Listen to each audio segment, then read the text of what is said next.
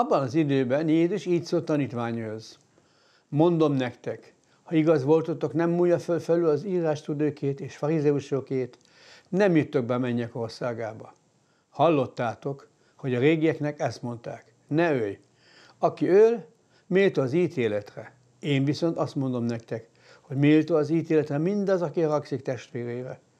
Hallottátok a parancsot? Ne törj házasságot. Én pedig azt mondom nektek, hogy aki bűnös vágya asszonyon és szívében már védkezett vele. Hallottátok továbbá, hogy a régieknek azt mondták, hamisan ne esküdj, és tartsd meg az Úrnak tett esküdet. Én pedig azt mondom nektek, egyáltalán ne esküdjetek. Legyen a ti beszédetek, igen, igen, nem, nem.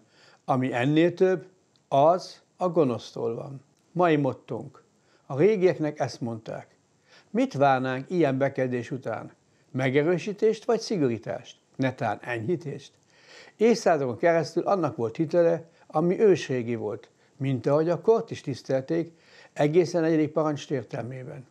A tíz parancsolat azonban az alaptörvény volt, erre alapozta az Úr szövetségét. Lehet ezen módosítani, annélkül, hogy a szövetséget magát megkérdeleznénk? Vegyük mondjuk az esküt. Nem, de politikailag a társadalmi stabilitás, a kölcsönös megbízhatóság záloga volt. Eltörölni kockázatos. Jézus azonban azt akarta, vállaljuk ezt a látszalagos kockázatot, és térjünk meg. Legyen minden szavuk olyan hiteles, mint eddig csak az eskü volt.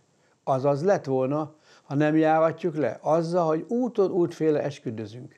A megoldás egyszerűnek tűnik Jézus szájából. Válasszuk egyenes igen és egyenes nem között. Ez az örökös ámbár, de és hasonló kibúvok halála. A kiskapukat be kell zárni. Rossz hír ez az ügyvédeknek? Vagy csak a rossz ügyvédeknek? Az ügyet védjük, vagy az alperest? Az elkövetőt, vagy az áldozatot? Az egyenes igen nemmel mindnyájan jól járnánk.